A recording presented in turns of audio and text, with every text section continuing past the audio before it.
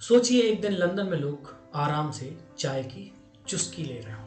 तभी अचानक पुतिन का फ़ोन आता है। सुनो, मैंने परमाणु मिसाइल भेज दी है।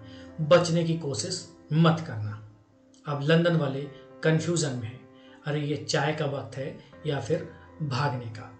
अगर रूस ने लंदन पर परमाणु हमला किया तो लंदन का हाल कैसा हो सकता है? जैसे किसी ने पूरे शहर पर एक बेकिंग सोडा डाल दिया हो। हर तरफ़ बस धुआँ ही धुआँ। बिग बेन की सुइयाँ रुक जाएँगी और लोग सोचेंगे, अरे, ये घड़ी ने टाइम बताना क्यों बंद कर दिया? शायद परमाणु ब्लास्ट टाइम का भी काउंटडाउन रोक देता है।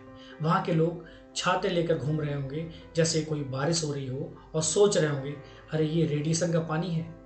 कोई मुझे आइसक्रीम दे दो, शायद अब आखिरी बार खा पाऊँ। और पुतिन का हाल ऐसा होगा जैसे उसने कोई वीडियो गेम में बड़ा सा धमाका कर दिया हो। वो अपनी कुर्सी पर बैठा शांति से चाय पीते हुए स्क्रीन पर देख रहा होगा। वाह, ये तो बड़ा मज़ेदार नज़ारा है। बेचारा लंदन चाय पीने और बारिश का मज़ा लेने की बजाय अब बचने के लिए इधर उधर दौड़ता नज़र आएगा। रूस के टीवी चैनल ने एक ऐसा ही वीडियो जारी किया। मानो ये कोई मूवी का ट्रेलर हो। आ रहा है इन गर्मियों में एक परमाणु धमाका। जो लंदन को करेगा, धुआँ धुआँ। इस चार मिनट के वीडियो में धमाके की शुरुआत इतनी ज़बरदस्त होती है कि लोग सोचें, अरे ये हॉलीवुड का स्पेशल इफ़ेक्ट है या सच में सब उड़ने वाला है? वीडियो में दिखाया गया कि पुतिन का परमाणु बम ऐसे फटेगा जैसे किसी ने दुनिया का सबसे बड़ा पटाखा जलाया हो। 750 किलोग्राम का वॉरहेड मतलब एक ऐसा धमाका जिसे देखकर लंदन वाले सोचेंगे, यार, ये तो हमारी फ़ेमस फायरवर्क्स शो से भी बड़ा है। और डेली मेल की रिपोर्ट में तो जैसे न्यूज़ नहीं, लॉटरी का नंबर निकाल रहे हो। अगर हमला हुआ तो आठ लाख लोग एक झटके में गायब और बीस लाख लोग अपंग। कुछ इस प्रकार की न्यूज़ होगी। ऐसे बताया जा रहा है जैसे कह रहे हो, और आप जीत सकते हैं बम्पर प्राइज, ज़िंदगी भर का रेडिएशन। लोग वीडियो देखते हुए अपनी अपनी चाय छोड़कर सोच रहे होंगे, अबे, ये बम कोई मज़ाक है या वाकई हमें यहीं का यहीं पापट बना देगा? और टेलीग्राम चैनल पर डाली गई ये डॉक्यूमेंट्री बिल्कुल वैसी लगती है जैसे कोई नई नेटफ्लिक्स की सीरीज़ का प्रोमो हो।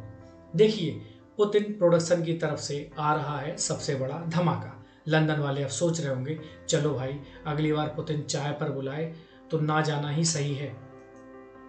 तो ये चार मिनट की डॉक्यूमेंट्री बिल्कुल वैसी ही है जैसा किसी ने दुनिया का सबसे बड़ा बीबीक्यू का टेलर लॉन्च किया हो। शुरुआत होती है सूर्य जितना गर्म, एक आग के गोले से नया सूरज हुआ है।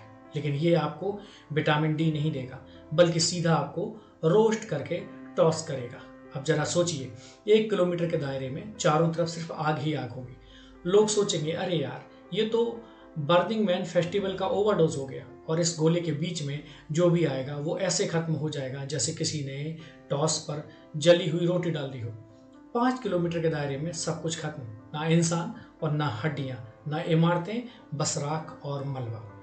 जैसे किसी ने लंदन को मिक्सचर ग्राइंडर में डालकर सेक बना दिया, लोग सड़कों पर ऐसे घूम रहे होंगे।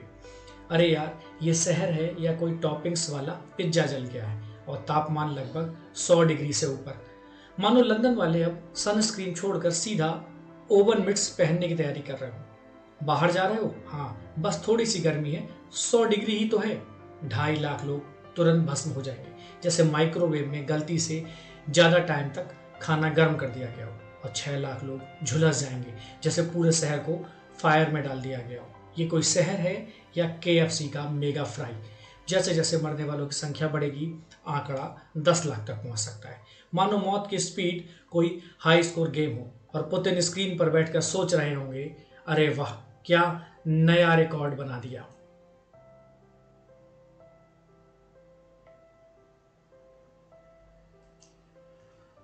तो उम्मीद करते हैं इस प्रकार की ये वर्ल्ड अफेयर्स की खबरें इंटरेस्टिंग वे में आपको पसंद आएँगी। नमस्कार, जय हिंद।